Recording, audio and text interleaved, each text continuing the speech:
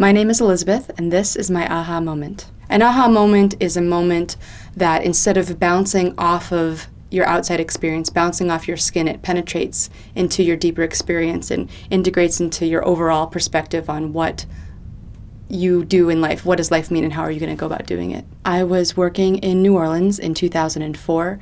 I had been invited down there um, by an organization to help work with what at that time was the Douglass Community Coalition, which was a group of parents and teachers working to make sure that the school was meeting the needs of the kids. In that process, I was working with a man named Curtis Muhammad, who is a, an amazing organizational leader who is part of the civil rights movement. And we were working on getting more parents involved and really focusing on making sure the school was accountable and we're very much on track on that community engagement.